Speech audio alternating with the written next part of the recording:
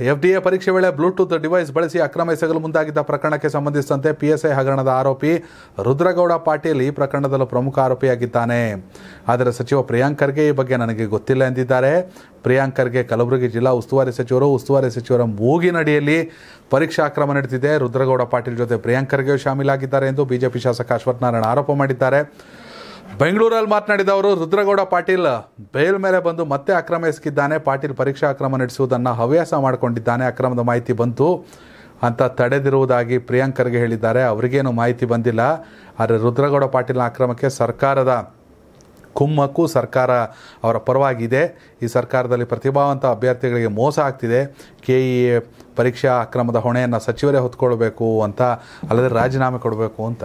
P F I P S I ಅಕ್ರಮ, ಏನು ಐನೂರು ಜ, ಒಂಬತ್ತು ಜನರ ಅತಿ ದೊಡ್ಡ ಅಕ್ರಮ ಆದಾಗ ಬಿ ಜೆ ಪಿ ಸರ್ಕಾರ ಇತ್ತು. ನೀವೇನು ಮಾಡಿದ್ರಿ?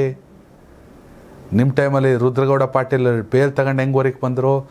ಈಗ ಹೊರಗೆ ಬಂದ್ಬಿಟ್ಟು ಮತ್ತೆ ಮಾಡ್ತಾವ್ರೆ. ಅದೇ ಒಂಥರ ಈ ಆರೋಪಗಳನ್ನೆಲ್ಲ ಕೇಳ್ತಾ ಇದ್ದಾರೆ ಸುಮ್ಮನೆ ಬೆಳಗಾದರೆ ಏನಾದ್ರು ಮಾತಾಡಬೇಕು ಅನ್ನೋದು ಒಂದಷ್ಟು ಜನಕ್ಕೆ. ಜನ ನೋಡ್ತಿರ್ತಾರೆ. ಆವಾಗ ಆರೋಗ್ಯ ಜ್ಞಾನೇಂದ್ರ ಅವ್ರನ್ನ ರಕ್ಷಿಸ್ಕೊಳ್ಳೋಕ್ಕೆ. ಆರೋಗ್ಯ ಜ್ಞಾನವ್ರ ಜೊತೆ ಎಲ್ಲ ಅದ್ಯಾವುದೋ ದಿವ್ಯ ಅದು ಯಾರ್ದು ದಿವ್ಯ ಹಾಗರಗಿನ? ಯಾರದು?